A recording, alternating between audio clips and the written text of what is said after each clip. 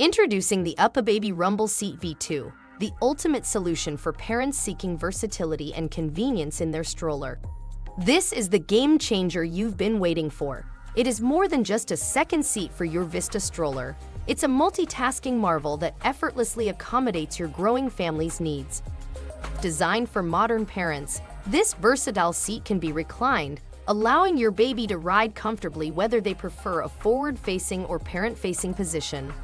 It's the stroller seat you've always dreamed of, providing flexibility like never before.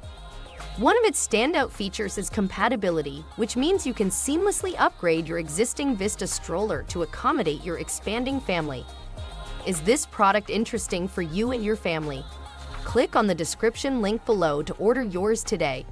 Now, let's continue. Plus, with the extendable canopy, it comes complete with UPF 50 sun protection, shielding your little one from the elements. Whether it's harsh sunlight or unexpected rain, your baby stays comfortable and protected. Plus, the zip-out canopy allows you to customize the coverage based on your baby's needs. But the UPPAbaby Rumble Seat V2 doesn't stop there. It includes a bumper bar and bug shield, providing additional safety and convenience. For added functionality, the snack tray accessory fits the bumper bar attachment, making on-the-go snacking a breeze.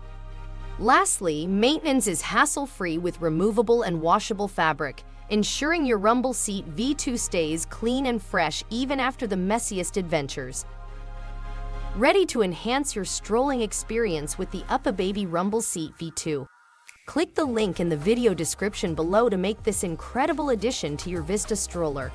Don't miss out on the opportunity to transform your family's outings. Upgrade today. Did you like this video?